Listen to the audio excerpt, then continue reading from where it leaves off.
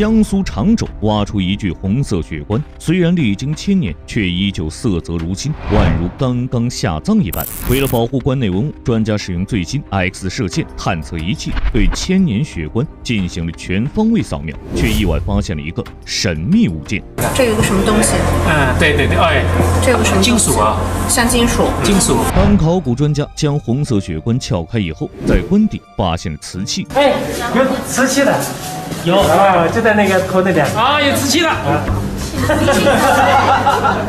享有如此特殊的红色血棺，墓主人究竟是谁？专家探测到的神秘物件又是什么呢？保持你的好奇心，双击点赞，加个关注。本期视频为大家揭秘千年血棺之谜。二零一八年十二月十四日，位于江苏省常州市金坛区，当地村民在污水改造的过程中，意外挖出来了一座古墓。接到报告，常州博物馆随即派去一支考古队，对这座古墓进行了抢救性发掘。考古队员从墓葬形制判断，这是一座宋元时期的古墓。起初，考古队员对这座古墓发掘时，并没有发现什么特殊的地方。然而，当他们将古墓上面的木板移开，冲洗掉棺材上面的淤泥以后，不可思议的一幕发生了：一具血红的棺材。赫然地出现在大家面前，保存如此完好的血红棺材，让从事考古领域二十年的专家都惊叹道：“这是我生平第一次见到如此鲜红的棺椁。”专家疑惑不解，这具红色棺材为什么历经千年还能保存色泽如新呢？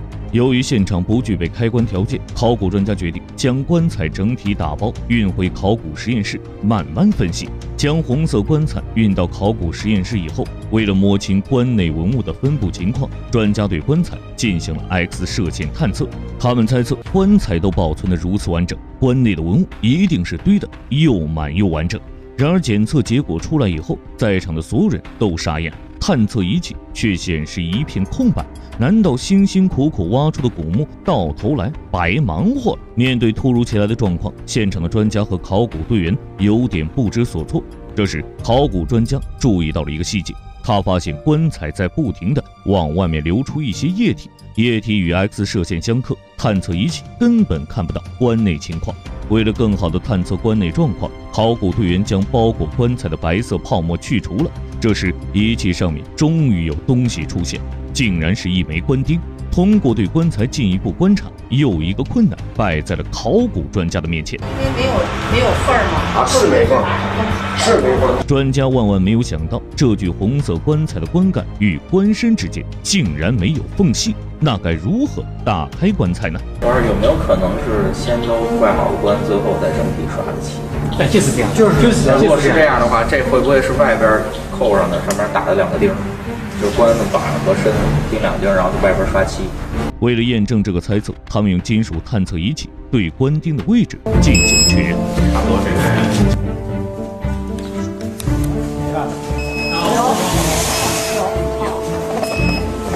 这个暗示要双盲。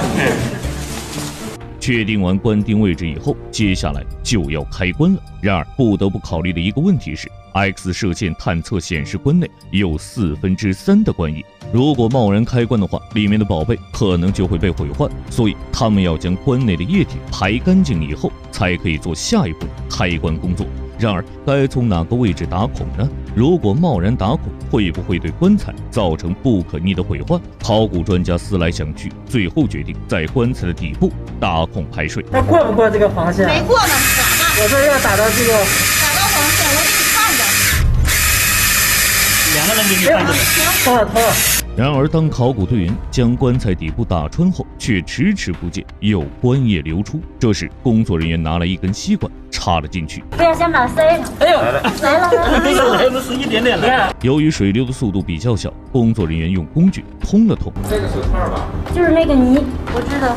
将淤泥通干净以后，大量的液体涌了。出来。考古队员首先对液体进行了。采样，经过一天一夜的倒流，棺内的液体终于被排干净了，总共排出了一千斤的棺液。液体排空后，考古队员用内窥镜对内棺进行了最后的检查。这时，一个神秘物件却突然显现了出来。这有个什么东西？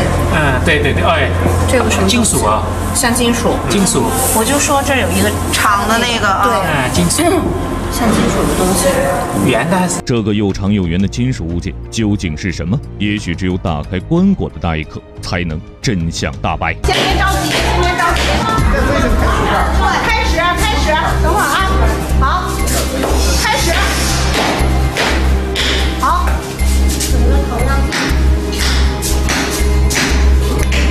江苏常州挖出一具千年红色血棺，专家为了探寻棺内宝贝，在棺底凿穿一个大窟窿，排了一天一夜，足足排出一千斤的棺液，才将棺内的液体排干净。然而，当专家在对棺材进行探测时，却发现了一个神秘的金属物件。打开棺椁以后，专家全都陷入了沉思。二零一九年一月十五日，江苏千年红色血棺的开启工作正式开始了。就这样，咱往升，把这俩架子手都拿上了。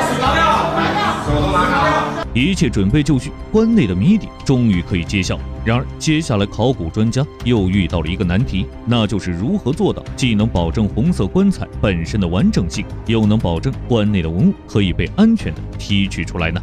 经过考古专家的商讨，他们决定采取棺底侧方开启的方案，就是把棺材的底部和棺身整体分离。就像那个我们开那个蛋糕盒子一样，不是从它的顶面打开，而是连着棺身一起打开，就是只能留下一个棺底和的棺底，呃和棺内的所有的这个物品。接下来，考古队员将之前做好的木楔沿着棺底缝隙打入，将棺身与棺底整体分离。好，开始。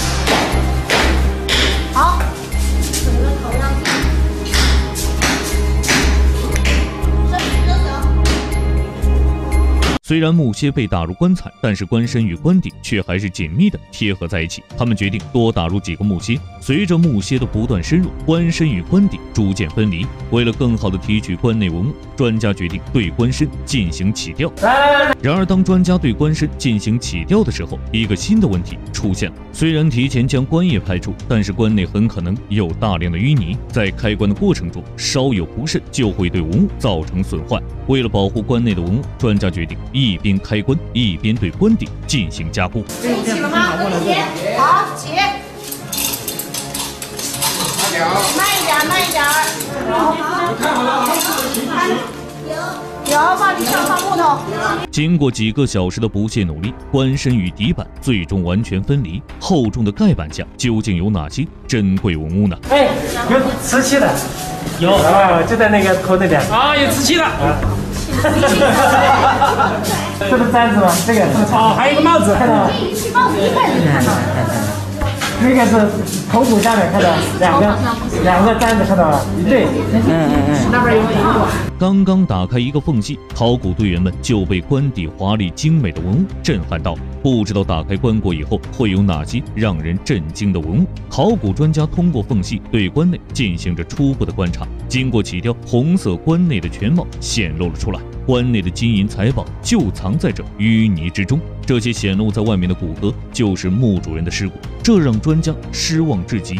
保存如此完好的红色棺材，墓主人的尸体却化为了一堆白骨。为了方便提取棺内的文物，考古专家决定将棺底运到工作台上进行下一步的提取和研究。然而，当考古队员对棺底进行搬运的时候，意想不到的事情发生了。慢一点，慢一点，慢一点，慢一点，好嘞。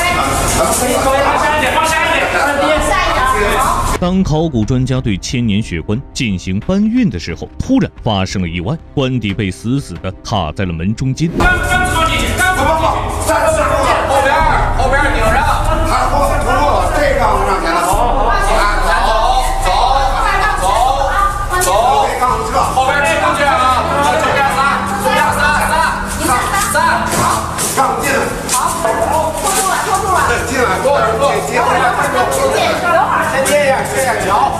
还好有惊无险，棺底终于安全的通过了门缝。两个一块吃，你这边一定要吃上劲儿。吃上劲好，往前推一点，走，好，往前走，好，那杠子甩掉，好，接接接，继续继续。继续继续，别撒手。在考古队员的共同努力下，棺底终于被运到了工作台上。千年红色血棺，神秘金属物件，棺内满满的随葬品，墓主人究竟是谁？为什么墓主人要用红色血棺下葬呢？二零一九年一月十六日，一切准备就绪，考古队员开始清理棺内文物。在对棺内文物提取之前，考古队员首先对棺内文物进行测量与绘图，并对棺内出土的物品进行提取采样。在清理棺内文物的同时，考古队员对这具红色血棺进行了保护工作。当考古队员清理完墓主人的部分遗骨后，在淤泥中发现了一根木簪，清理掉木簪周围淤泥，成功的被提取了出来。就在这个时候，他们又相继发现了竹篦和木梳，先后清理出来了五把木梳、两把竹篦，之后又清理出来了裴家造款竹篦。这是常州地区考古发现的第一例带有墨书文字的古代竹璧。随后又清理出来了六件金银首饰。让专家感到震惊的是，首饰上竟然刻有“明庆寺东徐一郎”字样。专家根据文献查证，这件金银首饰上的“明庆寺”当时指的是临安（今杭州城内的明刹）明庆寺的可能性很大。这两件文物上面所题铭文是宋元时期比较常见的商品标识书写格式。随着清理的不断深入，突然一对筷子的出现，瞬间引起了现场的轰动。这是筷子还是毛衣针？看着啊，这儿有一个窝。虽然历经千年，这双筷子依旧保存完整。提取完筷子，考古队员提取出来了一件瓷盏。清理干净上面的淤泥以后，所有人都被吸引住了。瓷盏内竟然还有梅花纹饰，又是一件瓷器。签儿就是拿出来。随后，考古队员将墓主人的骸骨提取了出来。为了确认墓主人的身份，南京博物院体质人类学家对这具人骨进行了鉴定。鉴定的结果显示，红色血棺的墓主人为女性，死亡年龄在五十一岁至六十岁之间。然而，让专家感到惊奇的是，墓主人为什么要用红棺下葬呢？红色嘛，在我们中国就代表一种吉祥，还有一些厌胜辟邪这一些象征。就是古人一般在这个，特别是在这个宋元时期，在元代的时候特别流行，就是以就是七色上红。这个也是当时的一个社会风尚。与此同时，专家意识到棺内出土的这件金钗很可能就是 X 射线探测时发现的那件金属物件。看着这件龙泉窑梅花青瓷盏，专家震惊不已，因为它与江苏太仓出土的梅花纹青瓷盏高度相似，造型特征也符合元代龙泉窑瓷器的特点。根据出土的文物，考古专家最后将墓葬的年代定在了元代。专家猜测，墓主人很可能经历了宋元交替时期。然而，让专家感到失望的是，因为墓中并没有出土墓志铭，也没有出土可以证明墓主人的铭文，专家只能判断墓主人是一位五十多岁的老妇人。你对这具红色血棺有什么看法？欢迎留言讨论。好了，本期视频到这里就结束了，咱们下期视频不见不散。